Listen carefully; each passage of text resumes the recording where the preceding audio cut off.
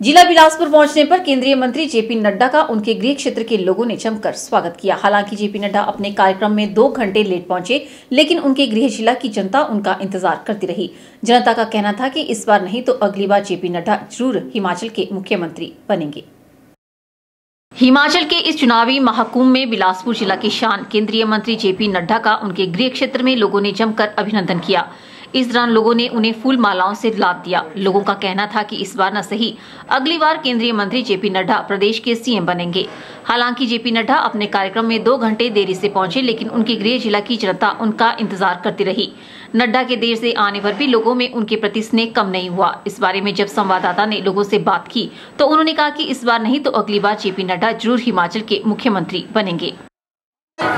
जी, हमारे लिए जो हाईकमान करेगी वो सर्वोपरि है। अगर उसके बाद हमारे जयप्रकाश नड्डा जी पाँच साल के बाद हमारे लिए वो भी मंजूर है। हमारे लिए सब बराबर है। पार्टी में जो धूमल जी भी अच्छे हैं, मुख्यमंत्री पद के लिए। हमें तो सबसे स्वीकृति है, ऐसे कोई बात नहीं है। लेकिन नड्डा जी का हम बहुत बहुत स्वागत करते हैं, जो कि एम्स हॉस्पिटल यहाँ पे लाए। उनके लिए हम आभारी हैं, उनके बहुत बहुत, और उनका हम बहुत बहुत धन्यवाद करते हैं।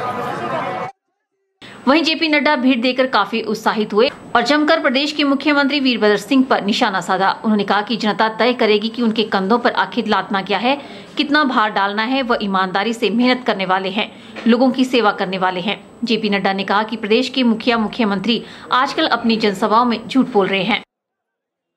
पंजाब में वक्तव्य सुना वीरभद्र जी का। देखिए, अभी भी आदमी गलती करके अगर अगर कहता ना कि आई एम सॉरी तो मुझे समझ में आता कि चलो, देर आए, सवेर आए, आ तो गए रास्ते पर।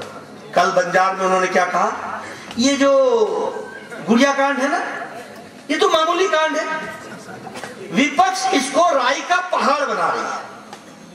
और दूसरी बात, मुखिया ने झूठ क्या बोला? कि मैंने तो दूसरे दिन ही सीबीआई की इंक्वायरी कर दी थी। आपको मालूम है सीबीआई की इंक्वायरी तब हुई जब थाना जल गया और जब और जब सेक्रेटेरिएट का घेराव हुआ और जब हम लोग दिल्ली में होम मिनिस्टर राजनाथ सिंह जी को मिल रहे थे, तब इसने कहा कि हाँ सीबीआई की इंक्वायरी कर।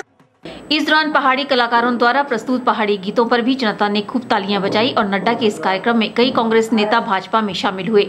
जेपी नड्डा ने हार पहनाकर उनका स्वागत किया। Bureau report, K channel, Bilaspur.